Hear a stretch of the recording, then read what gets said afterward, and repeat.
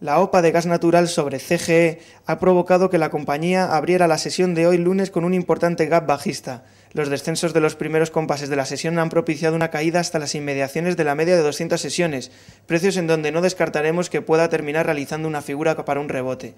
Para ello deberíamos esperar a un cierre por encima de los 22,10 euros, máximos del pasado viernes. Por el momento su aspecto técnico del medio y largo plazo sigue siendo bueno.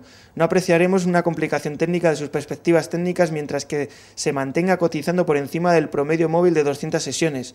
Solo un cierre por debajo de los 20,71 euros nos haría pensar en un cambio de tendencia.